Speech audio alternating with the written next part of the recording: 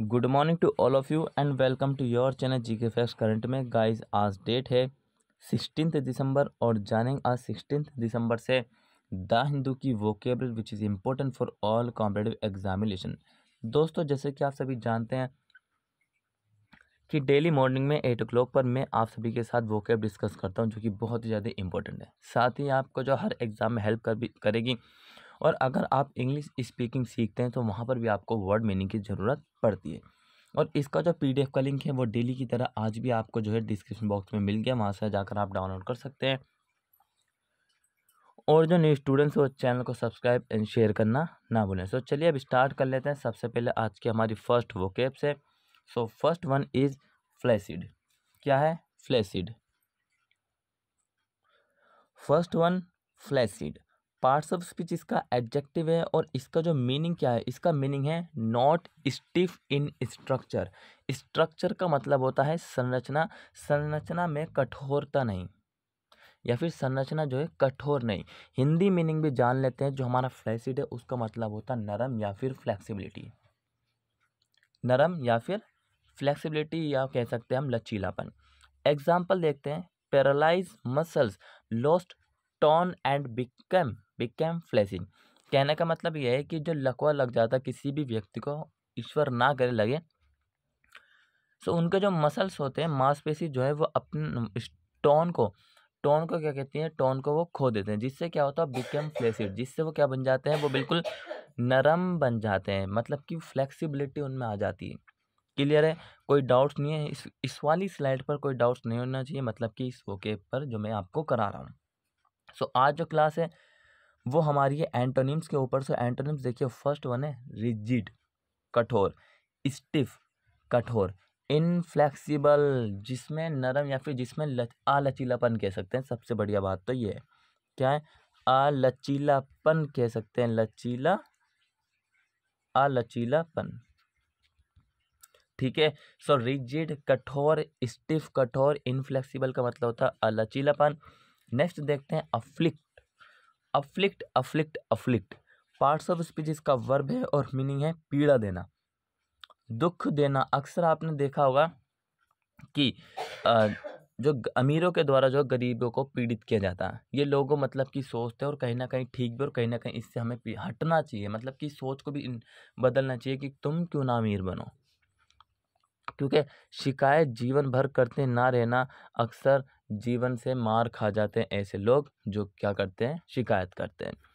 ठीक है? सो अफ्लिक्ट और इसका जो मीनिंग है वो है ऑफ़ अ प्रॉब्लम और इलनेस कॉज पेन और सफरिंग टू अफेक्ट और ट्रबल मतलब कि कोई बीमारी या फिर परेशानी परेशानी का जो मतलब कि जो पीड़ित है उसका दर्द, उसके कारण दर्द जो कि उसको क्या अफेक्ट प्रभाव और परेशानी में परेशानी है।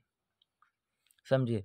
देखिए अगर मान लीजिए कोई व्यक्ति किसी बीमारी या परेशानी से पीड़ित है तो उसका कारण क्या हुआ? उससे वो पीड़ित हुआ तो उसी का प्रभाव और इफ़ेक्ट पड़ रहा है।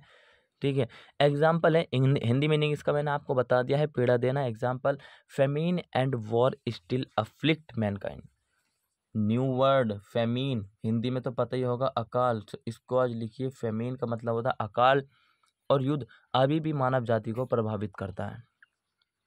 डेफिनेटली करता है। अगर देखिए युद्ध होगा तो अकाल पड़ेगा और अकाल, युद्ध होगा तो अकाल पड़ेगा। ठीक है, जैसे कि आप एग्जांपल ले सकते हैं नाइनटी फोर्टीन एट्टीन और ninety nineteen thirty nine to forty five. ठीक है, सो ये दो समय ऐसे थे जिसमें कि फ़र्स्ट वर्ल्ड वॉर और सेकेंड वर्ल्ड वॉर होता है, जिसमें भारी मात्रा में नुकसान और अकाल पड़े थे देशों में। नेक्स्ट इसका जो एंटोनिम्स है वो है, यहाँ पर हमने पीड़ा दे दी और इसका एंटोनिम्स से हेल्प मदद करना असिस्ट सहायता और ऐड मतलब भी सहायता होता है। क्या मतलब होता है? ऐड मतलब भी सहायता होता है। क्लियर है? सो ध्यान रखना इस बात को। नेक्स्ट है dynamism. Dynamism parts of speech इसका नाउन है और मीनिंग है गतिशीलता। क्या है मीनिंग? गतिशीलता। The quality of being characterise by vigorous activity and progress. क्या? The quality of being characterise किसी गुणवत्ता या प्रगति के होने की विशेषता।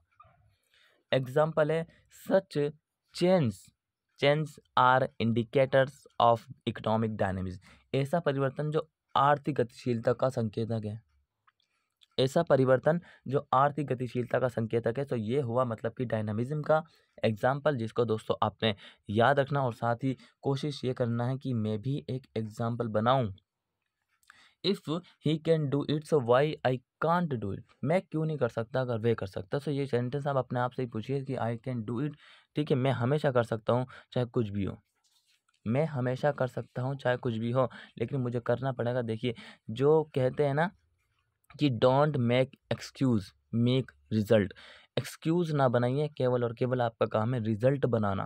रिज़ल्ट दिखाना कि हाँ मैं कर सकता हूँ, मेरे अंदर इस चीज़ की एबिलिटी है, मैं काबिल हूँ इस काम के लिए जो कि मैं कर सकता हूँ। ठीक है, अपने ऊपर हमेशा दृढ़ता से विश्वास रखिए, क्योंकि एक व्यक्ति देखिए आजकल क्या कि एक और बात बताता हूँ कि एक हाल ही की जो न्यूज़ आई है वो ये है देखिए, बताता हूँ कि जो एलॉन मस्क है टेस्ला के और टेलीग्राम मतलब कि ट्विटर के जो ऑनर हैं टेस्ला और ट्विटर और स्पेक्स एक्स ठीक है, उनको पीछे जो है बेरनार्ड आर्डो जो कि फ्रेंच के व्यक्ति हैं, वो विश्व के सबसे रिचेस्ट पर्सन बन गए।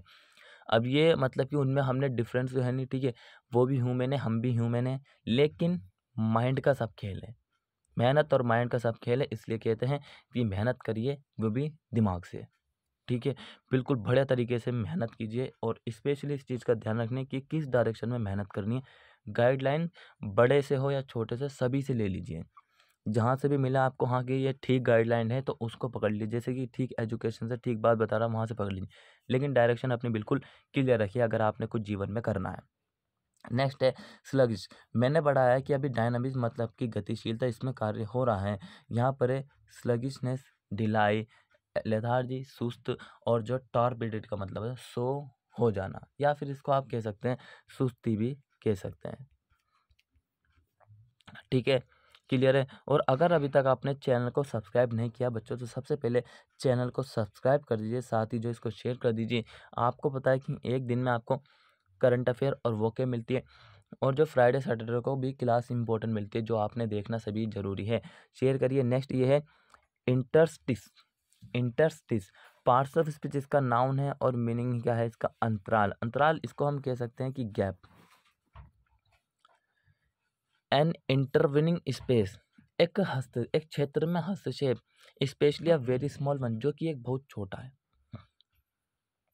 Example the interstice between the bricks let in cold जो मतलब कि ईंटों के बीच जो अंतराल है, वहाँ से कोल्ड हवा आती है।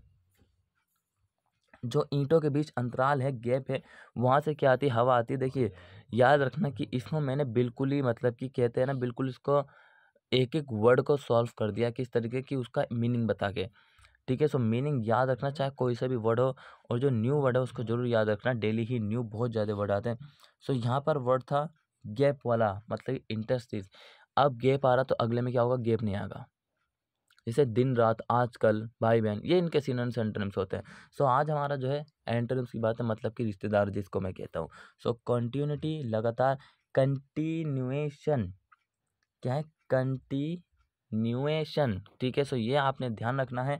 Next is decorum parts of speech जिसका नाउन है और मीनिंग है शिष्टाचार। क्या है मीनिंग शिष्टाचार।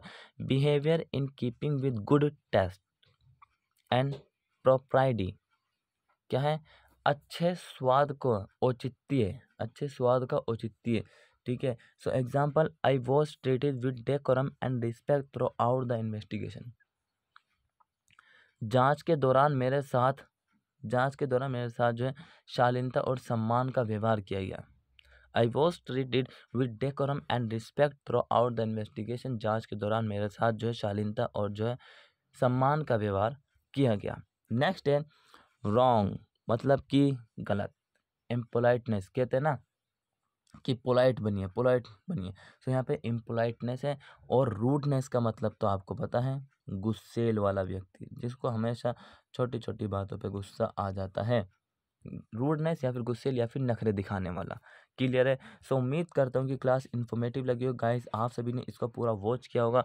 सो so, सबसे पहले तो thanks for watching for everyone ठीक है? और ऑल ऑफ़ यू एंड याद रखना डोंट फॉरगेट इसको लाइक करना कमेंट करना एंड शेयर करना और सब्सक्राइब करना। याद रहे कि डेली इसको वॉच करना, साथ ही करंट अफेयर को भी वॉच करना और फ्राइडे और सैटरडे की जो क्लास आती है उसको भी। मिलेंगे नेक्स्ट क्लास में, तब तक के लिए till then take care, all the best, have a nice day, thank you for watching video, all of you.